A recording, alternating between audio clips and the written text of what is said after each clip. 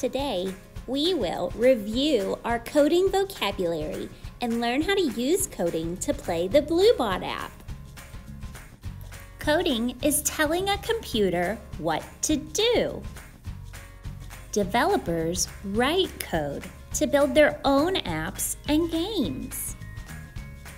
A command is an instruction to perform a specific action. Check out this example. The boy is telling the dog to sit. That is a command. Developers use commands too. They command the program or game to do something. Sometimes commands work together. This picture shows the sequence we use when we're washing our hands. First, turn the water on and get your hands wet. Then, use the soap. Lather up. Then, rinse. Then, dry your hands. A sequence is all of those commands together.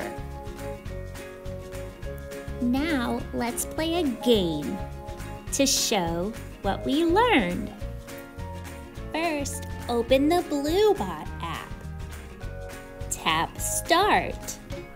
Sometimes people play the Blue-Bot app with an actual robot. We don't have a robot this time, so we'll tap the X.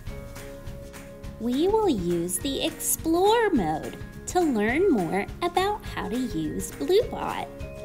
Tap step by step to get started. Next, we'll choose a grid or a map. Choose one that looks like a neighborhood or a road. First, think about where you want Blue-Bot to go. I want Blue-Bot to visit the pigs. Now you're ready to move Blue-Bot over to the road. Tap and drag. Once Blue-Bot is on the road, use the orange buttons to plan his path. Each orange button is one command. Together, the commands form a sequence that tells Blue-Bot where to go.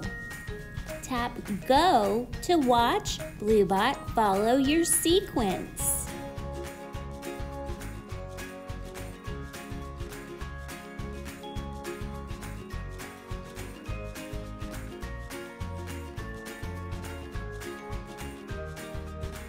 Oops, Blue-Bot didn't make it to the pigs. I'll have to try again. Tap X to clear your sequence to start again.